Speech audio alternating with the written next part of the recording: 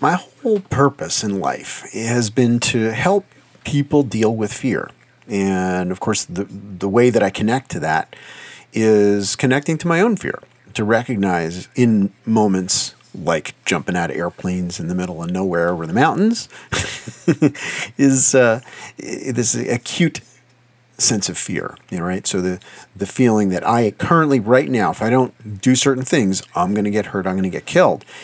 Uh, but the other aspect that I've noticed within my own fear is that there's a cold version of it where I'm not in uh, a torrent of kinetic energy. I'm perfectly safe in this moment, but there's a sort of hypothetical uh, existential risk. Might be money related, could be relationship related, could be career related or, or prestige or anything that you, you might feel like you, you're going to lose something that uh, you're not willing to lose.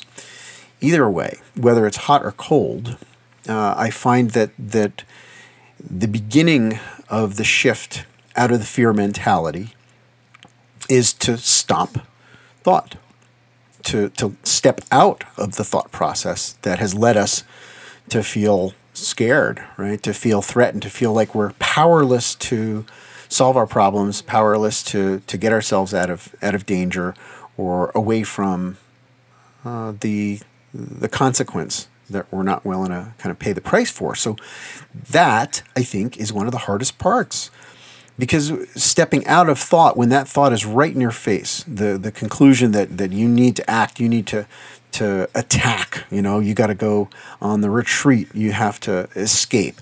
All of those instincts that are built into us have inherently there's an escape mechanism that's available to us that it's very easy to forget that even in a moment where you're under canopy and you've got the kinetic energy going on, you've got you've got the responsibility of this altitude, and you got to put yourself to rest somewhere uh, safely.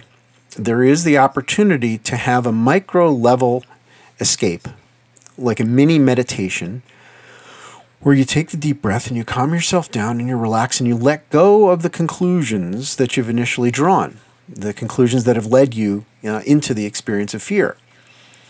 And of course, this uh, is a skill that we all have to cultivate. And by that I mean uh, the longer meditations that we do, the, whether it's yoga or a long walk in the forest or you're paddling your kayak or you just simply get out of your house, you know, and, and just go for a walk and clear your thoughts, leave your phone at home or at least off and be here in this moment, letting go of thoughts, focusing on your breathing, getting accustomed to the silence of your mind.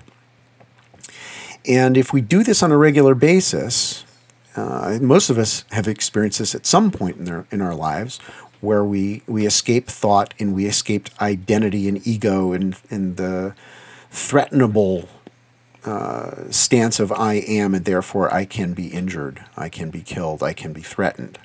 If you step out of that and you just be here now, and you breathe and you relax, and naturally, what starts to happen is it's like you've been holding the cork underwater and it starts to float again. Your, your happiness, your positive perspective, your sense of power over your life, all of that starts to flow back in when we start to breathe and be here in this moment and let go of the urgency.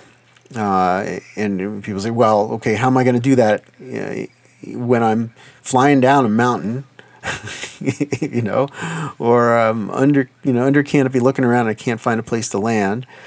How am I going to bring that back in? Well, through repetitive exposure through deliberate honing of your skill of letting go of thought to step out of your initial thought process. Uh, it allows you to to bring that feeling in really quite quickly. And skydivers learn how to do this. Of course, maybe not at the beginning. New skydivers feel scared most of the time, if not the entire experience, until they have the relief of being back on the ground and that euphoria that you get in, in the relief from danger uh, sets up a repeating pattern where you want it more. You want to go and do it again. But what if you get that relief during the jump? And that is what I'm trying to to nurture and, and uh, describe the best that I can to in a kinetic moment to disengage, to create an internal locus of control over your emotional experience, over your thought process, to, to sort of zoom up out of your body and look at it from in a more objective perspective. Uh, from a higher perspective. To me, this is where we lift up out of our ego consciousness into the higher self, which is not, uh, uh, it's not injurable, it's not threatenable. It is a larger view of you. So, what if in the next moment that you find yourself kind of caught up, what if you were to take a deep breath? What if you were to zoom back out?